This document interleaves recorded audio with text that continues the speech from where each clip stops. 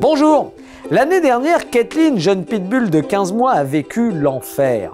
Retrouvée la gueule entièrement bâillonnée avec du ruban adhésif aux États-Unis, en Caroline du Sud, la pauvre bête avait été immédiatement conduite auprès de l'équipe vétérinaire de Charleston Animal Society.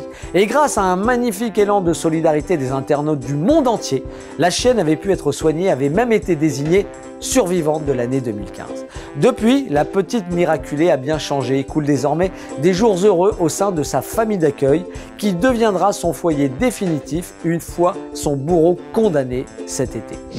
Très pratique, ce sac de transport ventral ou dorsal Panama de la marque Zolux est idéal pour les petits chiens lors de vos sorties. Avec ses filets de protection sur le haut et les côtés du sac pour une bonne ventilation et aération, votre toutou ne se sentira pas étouffé. Le saviez-vous, si la température extérieure est supérieure à 30 degrés, ne promenez pas votre chien, il pourrait se brûler les pattes sur le sol. Tout de suite Zapping Buzz, 5 secondes pour vous faire sourire.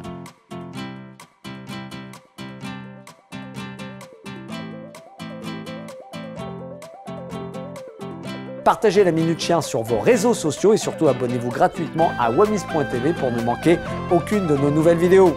A bientôt